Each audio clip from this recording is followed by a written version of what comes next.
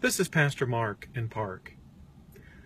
One day Jesus entered a village, being welcomed by a crowd of people.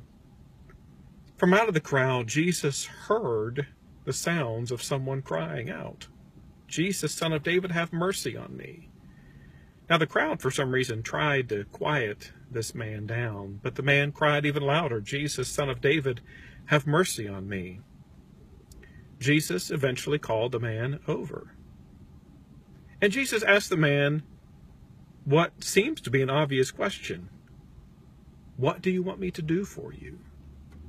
Why was it obvious? It's because the man was blind.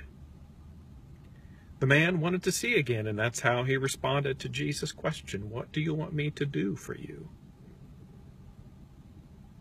The man ended that day being able to see Jesus, the crowd, his village, and the world around him. What do you want me to do for you? I've thought about that question for myself and how I would answer it.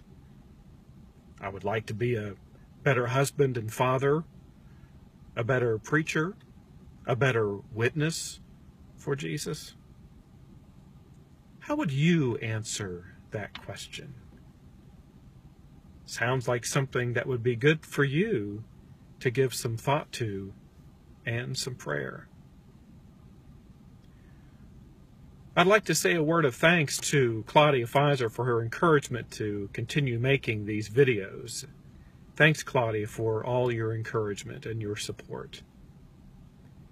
This has been Pastor Mark in Park reminding you to keep on loving as Jesus taught.